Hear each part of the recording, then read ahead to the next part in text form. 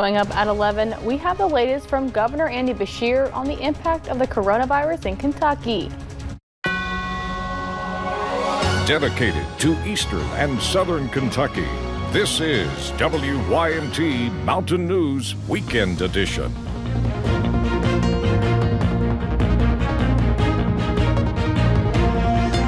Good evening. I'm Emily Bennett. Kentucky crosses a threshold tonight as Governor Andy Beshear announces 103 confirmed cases of COVID-19. Today's new cases came out of Fayette, Jefferson, Henderson, Christian, and Hardin counties.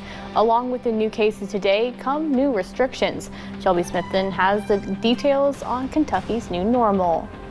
It's become a routine, not necessarily one we look forward to, but one we can count on when Governor Andy Beshear steps up to the podium to deliver his COVID 19 update. It always starts the same way. We will get through this and we will get through it together. It's what comes next that has the potential to impact countless Kentuckians' lives. Sunday, there were two new orders to take effect Monday night at 8. First, banning in person traffic in all non essential retail stores, places like clothing and jewelry stores. That does not include places like grocery stores, pharmacies, gas stations, and liquor stores. There is no need to rush to those types of stores. There is going to be enough of all of the essentials uh, for everybody. Second, banning all elective medical procedures. That's something that was already recommended but will now be mandated. When asked about other states' mandates to shelter in place, Governor Beshear says that's not a term he'll use. He says many of the restrictions are actually the same, but Kentucky has taken a gradual approach that he's calling healthy at home, and he's hoping will prevent panic. And Beshear always ends with encouraging every Kentuckian to be a positive player on Team Kentucky as we all get used to the routine of our new temporary normal. It won't be forever. And I look forward to that day where we can all be back within six feet of each other. At the state capitol, Shelby Smithson, WKYT. Now, Beshear did say those non-essential retail stores will be allowed to offer delivery and curbside pickup for orders placed online or by phone. We have a list of what will be open and closed on our website, WYMT.com. Now, in yesterday's news conference, Governor Beshear asked all churches across the state to ring their bells at 10 this morning. There we go. Here in Hazard First Baptist Church was up to the request. The congregation rang its bells this morning. The church has fallen in line with Beshear's orders to cancel all services due to the coronavirus outbreak. And Senator Rand Paul has tested positive for the coronavirus. He announced the positive test from his professional Twitter account. Paul becomes the first U.S. Senator with a confirmed case of COVID-19. The senator took the tests out of caution due to travel. He is currently without any symptoms and is in isolation at the time. Paul plans to return to the Senate floor once the coronavirus quarantine is lifted. And Everett's Funeral Home in Harlan County is providing a new way for family and friends of loved ones to watch funeral services due to the coronavirus outbreak. WYMT's Dakota Makris met with the funeral director and has more on how the funeral home is doing this. A governor mandate during the COVID 19 pandemic. We're doing everything we can to try and help the families during this difficult time only allowing the immediate family or those listed in an obituary to attend a funeral service of a loved one. We started searching for something to be able to help families still be able to grieve, allow the community to still be able to participate with the funerals. After searching, funeral director Joshua Shackelford found a solution streaming funeral services on Facebook Live if the family allows it. With their explicit permission only, will we do anything live on Facebook. And we do have it to where the, only the service is broadcast. Using Facebook Live is like a virtual receiving of friends. Just watching the comments during the funeral, I mean, just it just lit up. I mean, you know, people that couldn't actually be here or didn't know how to contact the family, they were able to just leave a comment, you know, if nothing more than praying. And giving those comments to the family what we've done, we've actually printed those comments out. We've actually taken photos of the uh, floral arrangements and gifts that were sent, and you know just give the, everybody the ability to still participate. Using Facebook Live as a tool to connect those who could not be a part of the funeral service.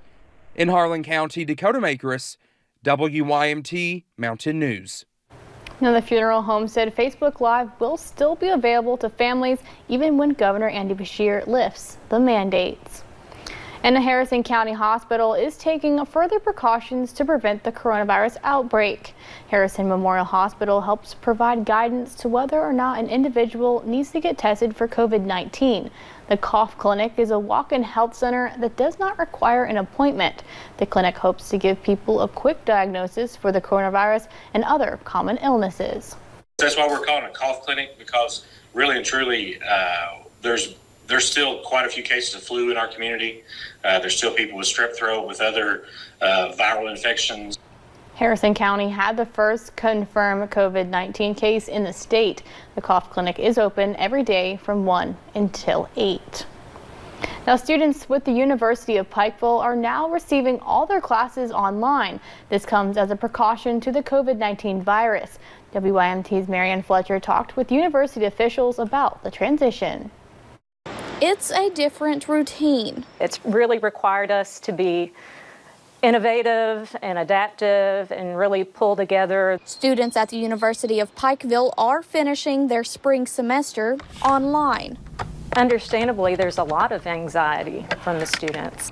But Professor Kathy Caudle says anxiety is met with the small campus mentality. It was very little discussion of content and more just checking in and making sure that people were doing okay. Embarking on foreign territory, professors are taking extra steps to make sure their students are comfortable. So, for instance, I've been experimenting with virtual office hours with students. Around 125 students are still living on campus. Many of our students uh, don't have good internet access at home, or they have food insecurity or housing insecurity, and so we needed to provide a place where those students could still eat regularly and have a safe place to live. UPike President Dr. Burton Webb says the University on the Hill poses as more than just an institution. But schools like the University of Pikeville, where we talk about the UPike family all the time, we take that very seriously. Making sure students stay on track with the resources they need. UPike is open for business. We're still teaching students, we're still educating folks. As the classroom may look different, their family mentality remains the same. In Pike County, Marianne Fletcher, WYMT Mountain News. Now, right now, officials with the University of Pikeville have not made a decision to hold a graduation ceremony this spring.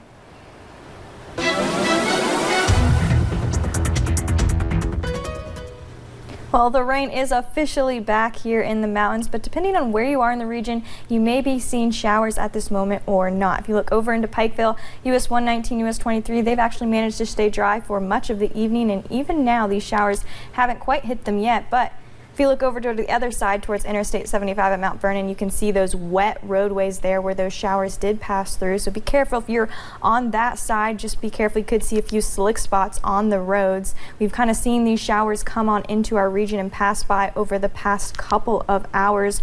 Really now just making their way out of the central portions of the region and heading towards the eastern portions, heading on into Pikeville and into portions of that eastern side. So just be careful overnight for some slick spots, but overall not looking too bad. Temperature is going to be on the warmer side tonight, and we're going to continue to see these rain chances as we head into tomorrow as well, and I'll break those down for you here in just a little bit. Emily? Thank you, Brooke. Now, deputies continue the search for a Leslie County man today. Yesterday morning, a man crashed his car into Cutshin Creek and was swept away. Two of the three people escaped from the vehicle as it was washed away, but the third passenger is still missing. Crews began searching yesterday and continue the search this morning. We will provide updates to this story on our website coming up. Now, Kentucky State Police is conducting a death investigation in Jackson County. KSP received a call yesterday afternoon about possible human remains in the county. Upon further investigation, KSP determined the remains belong to a 70-year-old woman. The woman had been missing since January 31st. We will provide the latest updates to this investigation on our website, WYMT.com. And a Bell County man is behind bars after setting a bathroom on fire. This happened at a pilot gas station one mile north of Middlesboro this morning. John Isbell was identified as the subject in the case. Multiple departments responded to the scene. Isbell is charged with a first degree arson and wanton endangerment. He is being held in the Bell County Detention Center. And a house fire broke out in Middlesboro this afternoon. The Middlesboro Fire Department believe the fire started in the chimney. Smoke was in the house and the fire was around the chimney. The fire extended into the second floor of the home. The front of the house suffered heavy losses, but the department controlled the fire there. Thankfully, everyone was out of the home when the fire spread and no one suffered any injuries. Coming up at 11, we give you a glimpse of what it's like being sick with the coronavirus. And the rain is back. I will break down tomorrow's forecast for you and let you know how long the rain will be sticking around coming up.